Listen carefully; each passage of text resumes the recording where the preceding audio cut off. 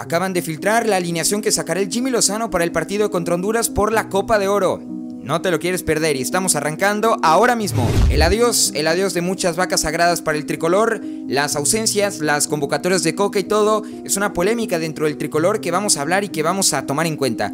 El Jimmy Lozano el día de mañana contra Honduras estará arrancando un nuevo proceso en la selección mexicana de interinato.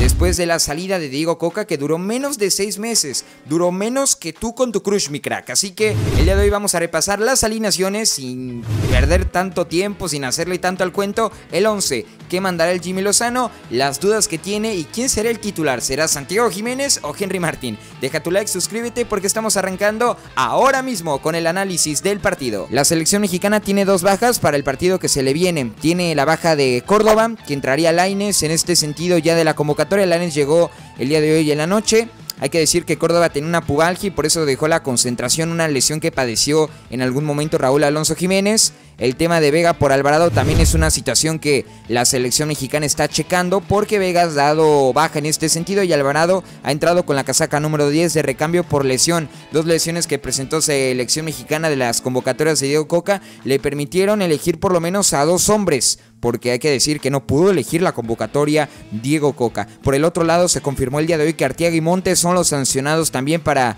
el arranque de la fase de grupos. Artiaga tendrá dos partidos de suspensión debido a la pelea que protagonizó contra Estados Unidos y Montes tres. Y se fueron tres días de trabajo para la selección mexicana y este sería el 11 de el director técnico, el Jimmy Lozano, que mandaría un sistema 4-3-3 dentro de su alineación.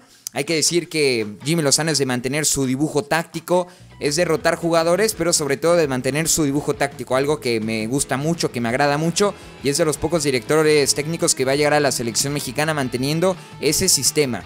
Vamos a revisar en la portería quien arrancaría sería nada más ni nada menos que Guillermo el Memo Ochoa. Estaría en el eh, arco, no hay dudas, parece ser que para Jimmy Lozano el arquero que lo llevó precisamente a los Juegos Olímpicos termina siendo la mejor opción para el cuadro de la selección mexicana. Después tenemos en la central a Israel Reyes y a Johan Vázquez en la central debido a que Montes causó baja, se planeaba que iba a ser el titular, pero terminarían siendo Johan que es de la confianza del Jimmy Lozano, como fueron en estos Juegos Olímpicos donde México terminó en el tercer lugar, pues termina siendo en este sentido pues Johan Vázquez y Reyes, eh, quien estará supliendo a Montes. Sánchez por la banda de la derecha, Gallardo por la banda de la izquierda. Ahora vamos con el medio del campo. Un 4-3-3 va a mandar a un pivote y a dos interiores. Estará mandando Edson Álvarez, que me decían que no se sentía del todo bien en condiciones físicas, que ya no es jugador del Ajax, prácticamente está a un paso de cerrar el fichaje con el Borussia Dortmund. Interior eh, por izquierda se espera que termine siendo Chávez e interior por derecha se espera que termine siendo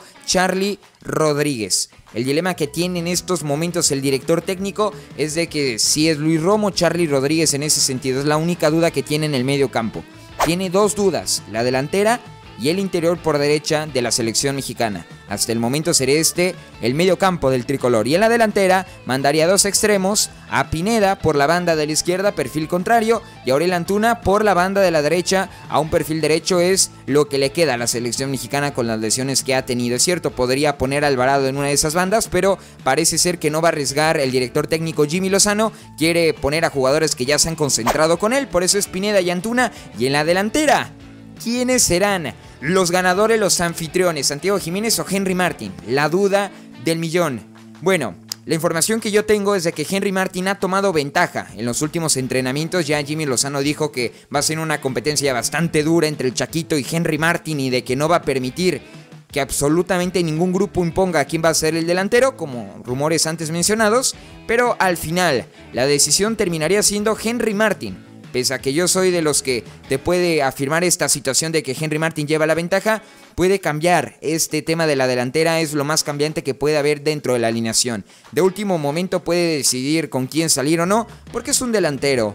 Porque es un delantero, porque puede rotarlo diferente porque no es algo que te vincule tanto con el medio campo y no te desordena tanto la idea. Realmente el delantero se va a encargar de mandar eh, y tener la efectividad de estos centros que te pueda mandar Antuna y que te pueda mandar uh, y Pineda, que para muchos lo de Antuna es tristísimo, pero veremos qué va a pasar el día de mañana. Fanático, el día de hoy, deja tu manita arriba, suscríbete. Mi nombre es Tricky Boy. ¿Qué opinas sobre esta alineación un 4-3-3 que favorecerá al conjunto mexicano precisamente en tener triangulación, profundidad y un juego ofensivo? Que es el sistema y el modelo de juego que usará el Jimmy Lozano el día de mañana con la posesión de la pelota. Buscará ganarle a Honduras. Déjame tu pronóstico abajo en la caja de los comentarios.